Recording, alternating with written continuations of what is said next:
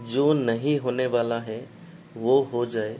इसी आकांक्षा में तो दुख की उत्पत्ति है, क्योंकि वो नहीं होगा और तुम दुखी होगे। जवान हो, जवानी को थीर बना लेने की आकांक्षा है। सदा जवान रहो। ये नहीं होगा, कभी नहीं हुआ, ये हो नहीं सकता। ये नियम के विपरीत है। तुम असंभव की कामना कर रहे हो, फिर कामना टूटेगी।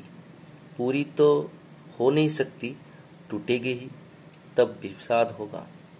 तब गहन अंधेरे में खो जाओगे। और तब ऐसा लगेगा कि पराजित हुए। पराजित सिर्फ़ कामना हुई।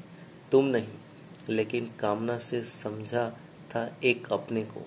इसीलिए लगता है पराजित हुआ। फिर भी सीखोगे नहीं। फिर फिर क्षणभंगुरों को पकड़ोगे। पानी के बबुले को थीर बनाने की आकांक्षा है। जो फूल तुम्हारी बगिया में खिला, सदा खिला रहे। ऐसा ही खिलता रहे, ऐसी ही सुगंध उठती रहे। झरेगा फूल कल सुबह। पंखुड़ियाँ गिरेंगी धुल में, तब तुम रोगे तब तब आँसू संभाले न संभलेंगे।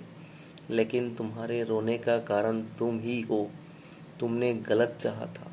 तुमने असंभव चाहा था। जो नहीं होता है, वैसा चाहा था। इसीलिए विषाद है। काश तुम देख लो उसे जो होता है, और वही चाहो जो होता है। तो चाह मर गई। चाह का अर्थ ही है जो होता है। उसके विपरीत चाहना जैसा नहीं होता है, वैसा चाहना जो होता है। उसकी स्वीकृति, उसके साथ समरस हो जाना चाह मर गई। जवानी बुरी हो जाती है, तुम भी स्वीकार कर लेते हैं। जीवन मृत्यु में परिणत हो जाता है। तुम अंगीकार कर लेते हो। सुख दुखों में बदल जाता है।